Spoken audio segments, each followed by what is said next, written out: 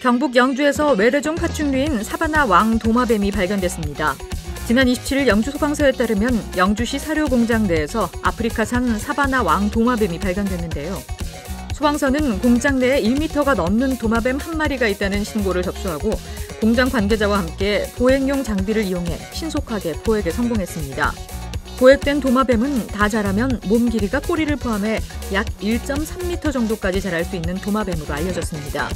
소방서 관계자는 외래종 동물이나 파충류 등이 나타나면 섣불리 접근하지 말고 물건을 던지거나 걷어차는 등의 자극적인 행동은 공격을 유발할 수 있으니 발견 즉시 119로 신속하게 신고해달라고 당부했습니다. 앞서 영주에는 지난 24일 세계에서 가장 큰 뱀인 그물 비단뱀이 발견됐고 지난달 13일에는 인근 하천에서 악어를 목격했다는 신고가 접수됐습니다.